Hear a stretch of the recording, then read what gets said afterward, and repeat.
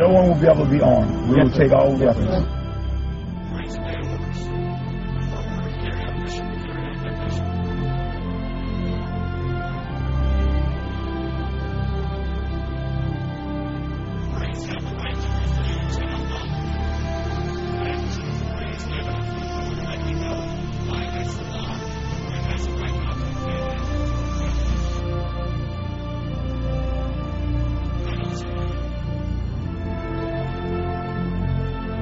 Every service member has an obligation, not just not just that they, that they can refuse a uh, legal order or an unlawful order, they have an obligation to. They have to, and so they have to make a decision for themselves where that line is.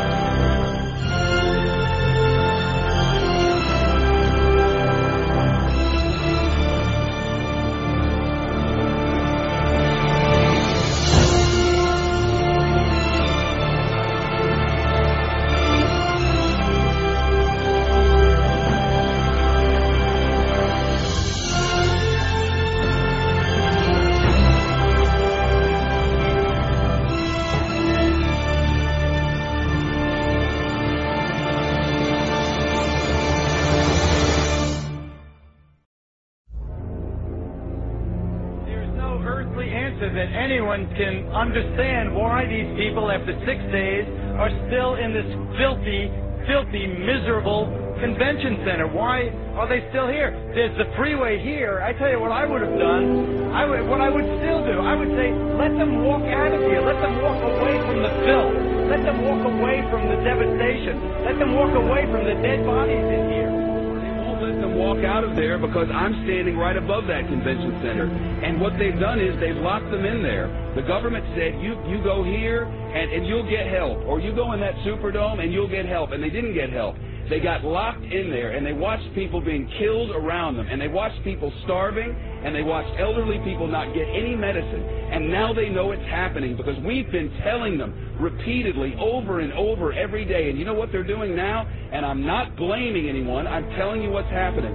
They have set up a checkpoint at the bottom of this bridge that this is the bridge that takes you from New Orleans over into Gretna, from Orleans Parish into Jefferson's Parish. It's the only way out. It's the it's the connection to the rest of the world. And they've set up a checkpoint, and anyone who walks up out of that city now is turned around. You are not allowed to go to Gretna, Louisiana from New Orleans, Louisiana. Over there, there's hope. Over there, there's electricity. Over there, there's food and water. But you cannot go from there right, to Chef, there. I think the government will not allow you to do it. It's a fact. I don't, I don't know, man. I don't let them walk out of here. Let them walk the hell out of here. Let them get on that interstate and walk out. Walk. We had Walmart deliver three trucks of water, trailer trucks of water. FEMA turned them back. They said we didn't need them. This was a week ago. Uh, FEMA, uh, we had a hundred, we had a thousand gallons of diesel fuel on a Coast Guard vessel docked in my parish. The Coast Guard said, come get the fuel right away. When we got there with our trucks, they got a word. FEMA says, don't give you the fuel. Yesterday, yesterday, FEMA comes in and cuts all of our emergency communication lines. They cut them without notice.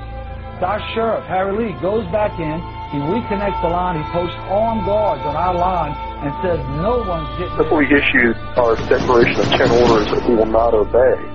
And what those are designed to do is to get the troops thinking ahead of time about where their line in the sand is in advance. And that's what we're hearing in, in feedback from people in National Guard units is that, that in Katrina, that's kind of what happened, is the police and the military there, the National Guardsmen, were were caught off guard and really hadn't thought about it in advance. Walking up and down these streets, you don't, you don't want to think about the stuff that you're going to have to do. Somebody pops around the corner.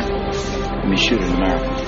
And what we're hearing is, is that it won't be the same way next time. There'll be more who will say, no, I'm not going to do that.